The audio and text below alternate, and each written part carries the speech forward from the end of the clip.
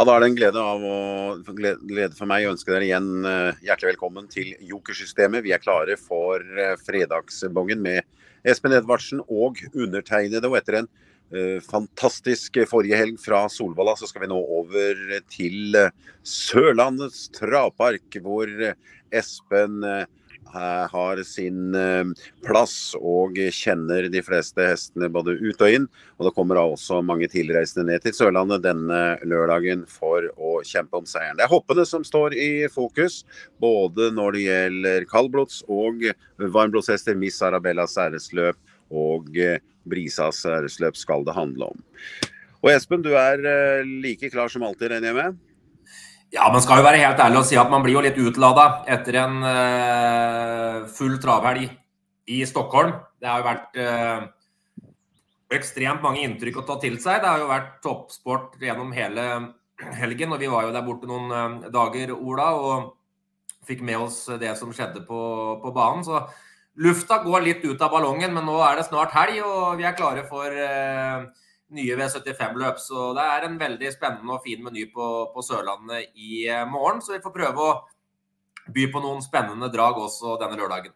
Det skal vi gjøre. Og så må vi da huske på at neste helg så er det altså Oslo Grand Prix med V75 på lørdag og stor fest med Oslo Grand Prix og eh, hester fra hele Europa da på søndagen. Vi skal til Sørlandets travpark. Vi skal til den første avdelingen, Espen. Det er et kaldblodsløp som åpner ballet. Mange vinnerhester, mange gode hester, men eh, hvem som skal vinne løpet, det er vel ikke bare eh, gitt eh, å tro på? Nei, jeg har god følelse for nummer fem Fjordhode i dette løpet. her. Jeg, mm. jeg syns den har spennende forutsetninger. Stå på strek. Han var eh, knallgod når Tengsareid kjørte den eh, nest sist. Da tapte han kun for uh, Nordsjøbalder. Og da gikk han altså døden stort sett hele veien. Uh, kom i mål da på 26,5, 2,180 voltestart. Gjentar den prestasjonen uh, i morgen, så tror jeg det er topp vinnersjanse. Så mm. det er uh, min førstehest i, i V75-1. Ja, Han står jo fint til der også, da, ytterst uh, på volten på strekdistansen. Uh, men det er gode hester imot. Uh, fra strek, jeg vet ikke, kanskje Mim, tre Mimle ØK kan gjøre, utgjøre en trussel. Og så har vi da gode hester på tillegg. Snakker da selvfølgelig om hesten som bare vinner. Nummer 13 Bjønnemarger, som dog går opp en klasse nå.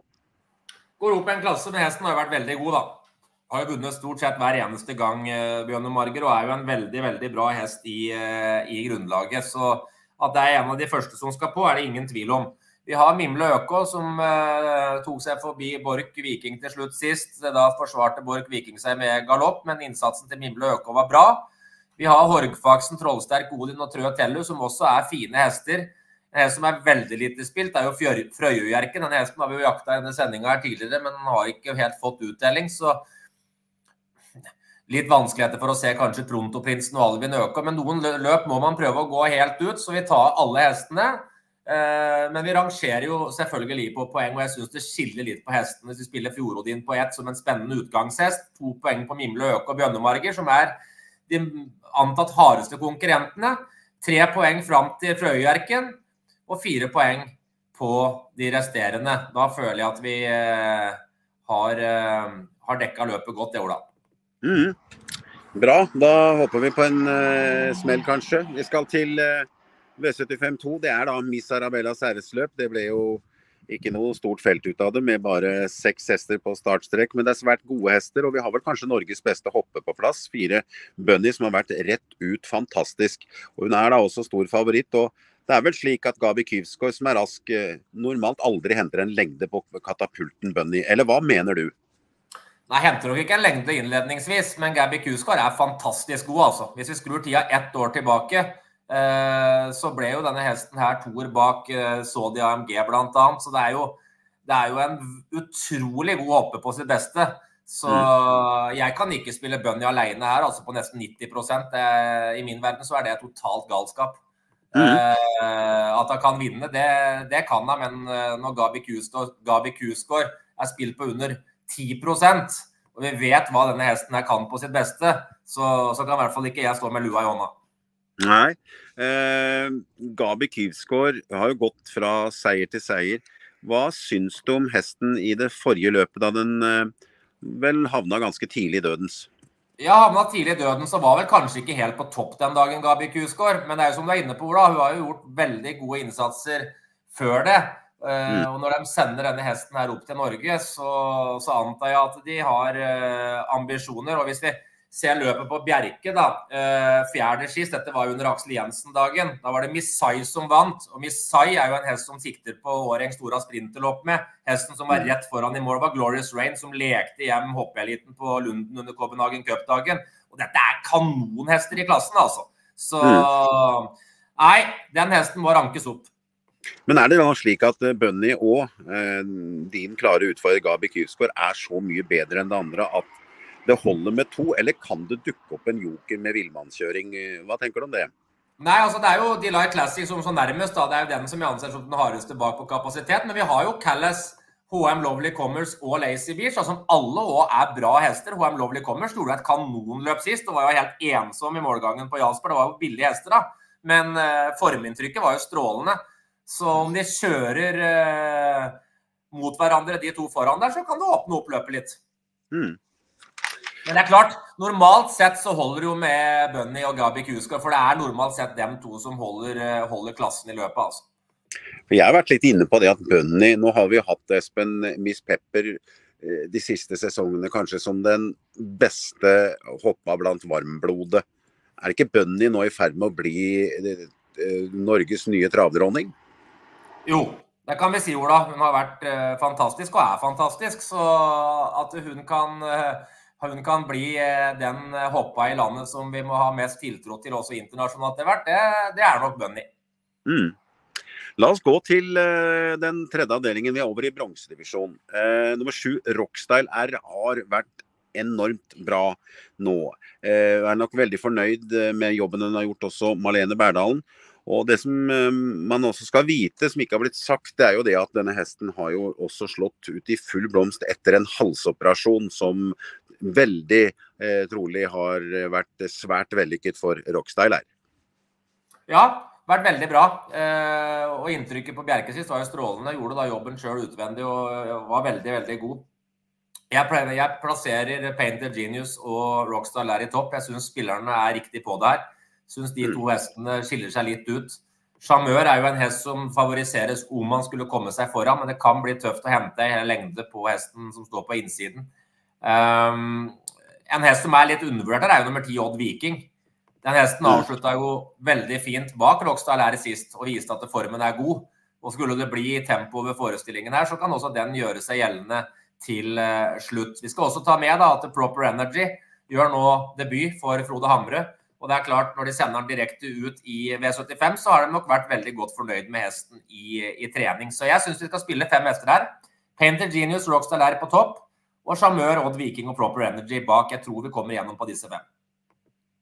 Ja, eh, Da kan vi gå til den fjerde avdelingen. Eh, Sølvvisjon for varmblods. En av årets eh, store, virkelig store slagere. Ja, for oss forresten også i fjorårets har vunnet nå tolv løp på 23 starter. Sju Kanopus. Eh, et eh, eneste stort eventyr, rett og slett. Ja, det har vært fantastisk eh, kanopus og utrolig gøy da, for eh, Jan Petter Sissener, som eh, har oppdretta og eier denne hesten. Har slått ut i full blomst som hun er inne på hos Stahl Hamre og viser, eh, viser, klasse. Nå mener jeg at han møter kamerater, altså. Det er ikke noe dekka mm. bord her for Canopus, Kanopus, og sporet er heller ikke det beste. Tenker på Tayem Square, som også det er en vinnermaskin av de sjeldne. Vi har Pretty Devil, som vi vet kan mye. Time Michigan med løp i kroppen vant kriteriet. Uh, syns den hesten var positiv på Momarken. Selv om det kun ble to andreplass, så er det en stor hest som helt sikkert har dratt nytte av det løpet. Dark Night SE, knallsterk hest som alltid går til mål. Og så har vi Joker og King Diesel og Donato for det selv, som også er bra hester i klassen. Så det er et veldig fint løp. Og posisjoner og tempo vil nok avgjøre mye her. Men det er klart, Kanopus spor 7, jeg syns det er interessant å prøve å syne i og med at forutsetninga er som de er. Eh, Times Square har jo vært veldig god og, og, vinner jo stort sett hver eneste gang på, på hjemmebanen på, på Forus. Eh, hvor man ikke møter de absolutt beste i klassen. Syns jo også hesten gjorde et uh, meget bra løp uh, tredje sist bak Kong Dudam og, og Deep Sea Lucky. Ja, veldig bra. Og du er inne på det, Ola, at hesten har nok vært best når han har konkurrert på Forus. Men uh, hesten har jo fått en hardhet, da. Og viser at han duger i klassen. Har jo vært herda litt i svensk V75 og Tayemskver, som har jo vært på reisefot og, og, og gått mot kamerater. Og ja, nei, jeg syns den må med på tidlig gardering her. Mm. Bra. Eh, vi kan se på den femte avdelingen. Eh, nummer tre, H. Lodve. Du snakket jo om at eh, Bunny var ellevill stor favoritt. Men hva skal man da si om H. Lodve? Eh, hvor stor er ikke den favoritten da i morgen? Den er stor, men den går jeg ikke imot. Dette tror jeg er eh, det beste kortet til eh, Tjomsland i eh, fireårssesongen. Knallfine innsatser nå de to siste gangene. Nå er det amerikanervogna på igjen, og Tjomsland kjører sjøl. Det er skoløs rundt om. Hesta på stallen der er i kjempeform.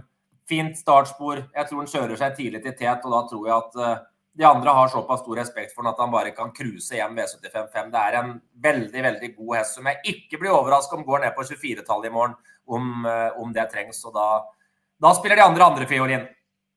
Ja, han hadde en uh, ganske god hest her tidligere i uka som, uh, som gikk ny verdensrekord for fireåringer. Eh, Veiko.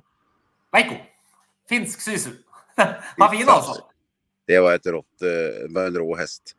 Det er nok en hest som hele Finland nå trykker til sitt hjerte. Og spesielt moro er det jo at Øystein Tjomsland som, som står for treningen og kuskingen av det nye fenomenet i, i Finland, eh, og ja, han står jo vel også da i Sverige. Eh, ja, han sa jo det, mm, Tjomsland, eh, Espen, at det er den råeste hesten sannsynligvis han har vært borti som en fireåring. Og han har jo hatt Teknodin og Brenneborken og, og vice versa.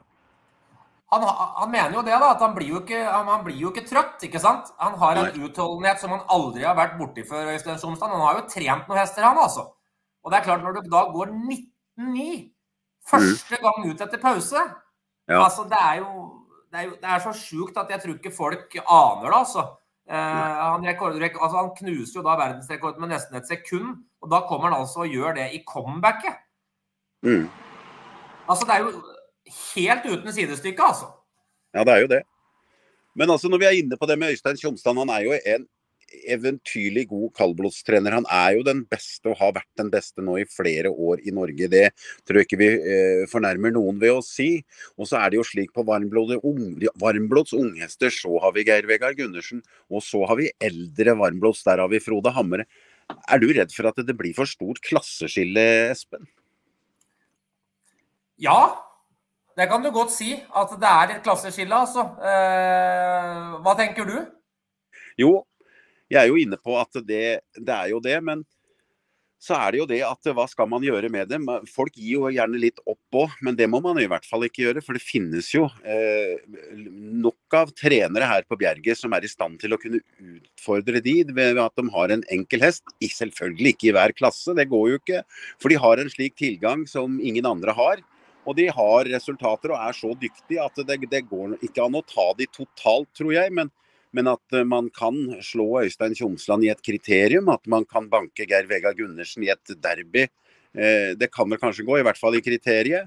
Eh, og så har vi jo da Frode Hamre, som også er, ikke er uslåelig i, i, i, det store og det hele. Men, men, de vinner flest løp. De er dominerende da, kan du si, fra klasse til klasse.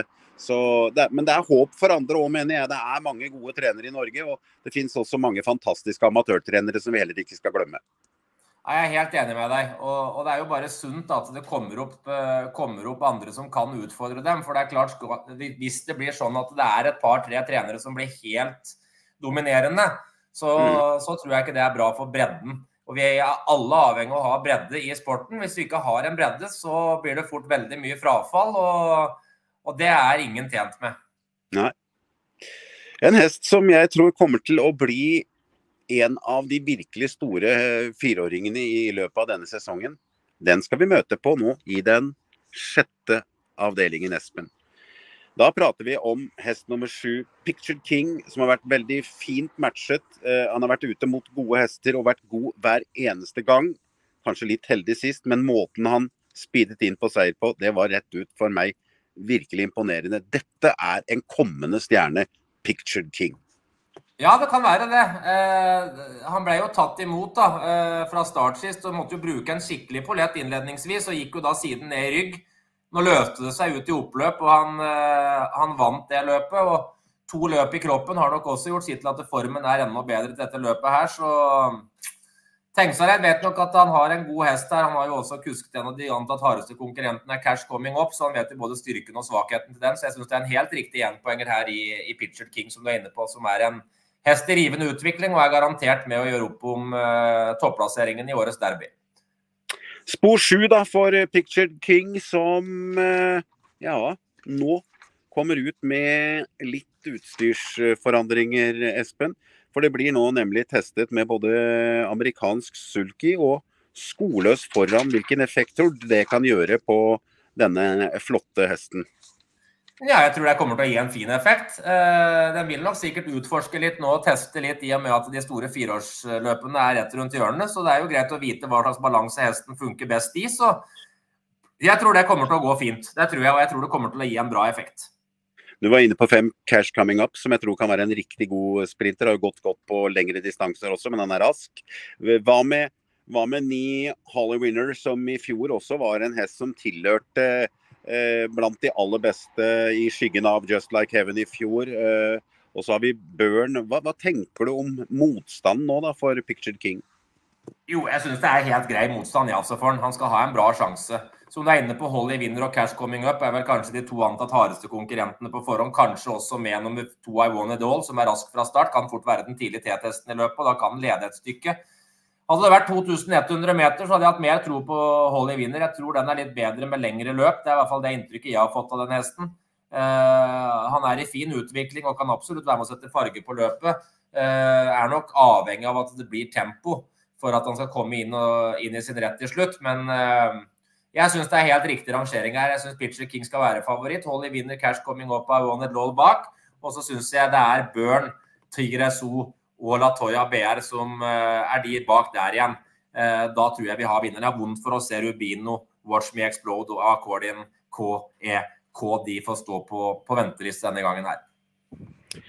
Da skal vi gå til V75 7-6. Eh, Vega blir jo kanskje favoritt til slutt her. Har jo vært veldig bra på sitt beste. Møter riktignok gode hester, men mye taler vel for at gul den gule til gulkuskede treneren og kusken med det lange håret tar seg av løpet. Ja, han har en sjanse i hvert fall. Vega er veldig bra, men dette er jo et veldig fint løp. da. Vi ser jo at det er hester her som omtrent ikke er rørt. Vertigo Isabel, Lomeperla som nå kommer ut skoløs rundt om. Uh, Makita står på under 10% skoløs denne gangen her. Frekkefrida som travet sitt beste løp noen gang sist på Bjerkevo midtfjellskjørte. Ledet da i det aller lengste, men tapte da kun for prinsesse Nestjo, som kom seg forbi til slutt. Men du er jo inne på det, da. Vega hun eh, hoppet jo vekk en mulig seier i fjorårets hoppederby og har jo et veldig fint uh, grunnlag på konto og har jo vist klasse som skal til for å kunne vinne et sånt løp. Men det er hopper, og jeg vet det at i hoppeløp der kan det skrelle. Så jeg tar også gjør alt gult, og så håper vi på at det kommer en bombe i finalen. Det er alltid godt å stå igjen med noe kryss til siste avdeling. Ja, tenk om man skulle gjort det. Det, ja, det hadde vært deilig. Ja, så har vi det med kaldblås, og så har vi Tjomsland og Solberg. og de, de, er dominante, altså. Ja, de er gode. Eh, nå så vi jo de var der igjen på Solvalla med Tangenborg. Eh, de er der når pengene deles ut.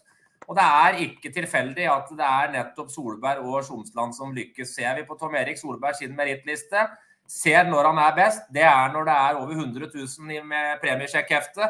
Da kjører han som en gud. Vi ser også det samme i Sverige, med Bjørn Goop som kommer opp bak Gucciadoros Denver Gio, som var helt avsagd i forkant av kvalifiseringen. Han får maks i kvalet. Han blir tredje i finalen og får maks ut av den hesten i både kval og finale. Vi så han med Timoko. Kom ut i finalen, dundrer til tet, vinner da som en høy 20-oddser.